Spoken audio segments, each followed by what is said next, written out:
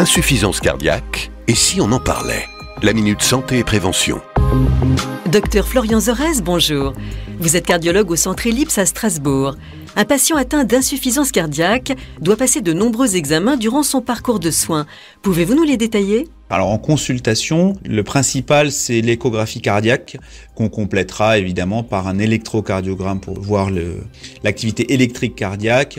Après la suite, donc il y a des examens qui vont permettre de d'essayer de caractériser la cause de l'insuffisance cardiaque. Donc ça va être essentiellement l'IRM du cœur pour voir s'il y a des séquelles d'infarctus par exemple. Ça va être euh, la coronarographie pour analyser l'anatomie des artères cardiaques pour savoir si éventuellement l'insuffisance cardiaque est liée à un problème d'infarctus, de, manque d'oxygène cardiaque.